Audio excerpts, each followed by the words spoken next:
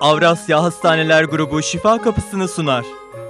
Ekip çalışması konseyden bahsettiniz. Bu demektir ki hasta sizinle buluşuyor ama arkasında kocaman bir bilimsel tartışmanın hasta adına karar verileceği bir noktada buluşuyorsunuz. Kesinlikle. Ee, Ekibinizle. biz e, hastanemizde, Avrasya Hastanesi'nde e, her cuma sabahları e, bütün cerrahlarımız, medikal onkologlarımız, radyasyon onkolojisi ekipmanımız, bütün e, patoloji uzmanı, radyoloji uzmanı, dahiliye, beyin cerrahisi, kadın doğum, kulak burun boğaz, e, yine sayamadığım bütün e, her branştaki hekim bir araya gelip e, toplanıyoruz. Bu toplantı sonunda hastamıza e, bulunan e, hangi bölgede tümörü yerleşmişse ona yapılacak ameliyat mı, kemoterapi mi, radyoterapi mi öncelik sıralarını belirliyoruz birlikte bu konseyde. O konseyde hastalarımızın bütün filmleri değerlendiriliyor. E, bütün filmleri e, hepimiz tarafından görülüyor. E, yine patoloğumuz tarafından e, eğer başlangıçta bir biyopsisi alınmışsa bir fikir veriyor bizlere. E, ona göre tedavisini e, düzgün bir şekilde tedavisini planlıyoruz. E, iyi bir ekipman, iyi bir konsey e, her zaman için e, hastanın tedavisinde e, olmazsa olmaz diyebilirim.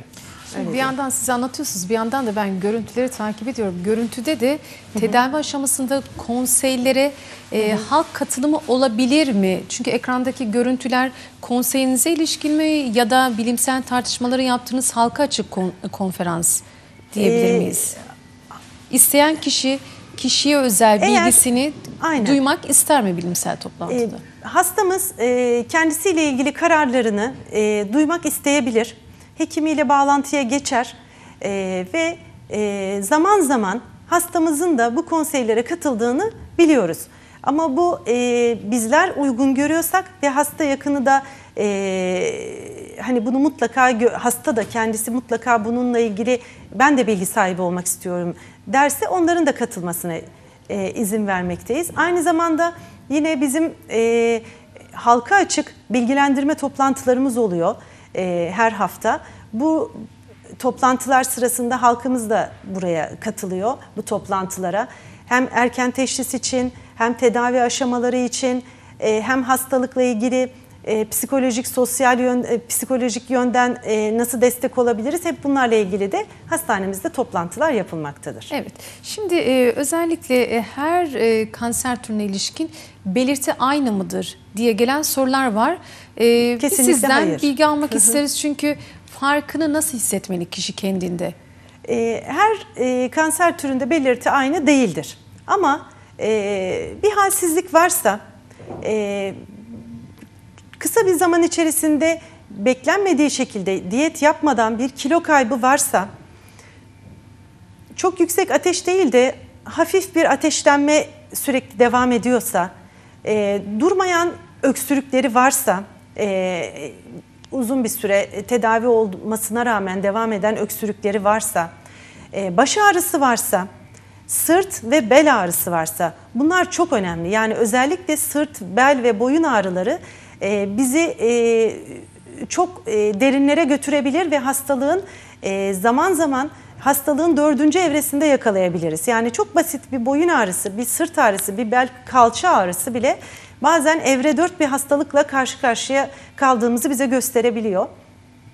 Karın ağrısı, uzun süren ishal, uzun süren kabızlık, büyük abdestte gaytada renk değişiklikleri, toklukla birlikte yemek yedikten sonra midede gelişen ağrılar, e, yine e, yan ağrıları, e, memede özellikle biraz önce de söylediğim gibi memede ele gelen kitle bu ağrısız, hareket etmeyen sert bir kitle.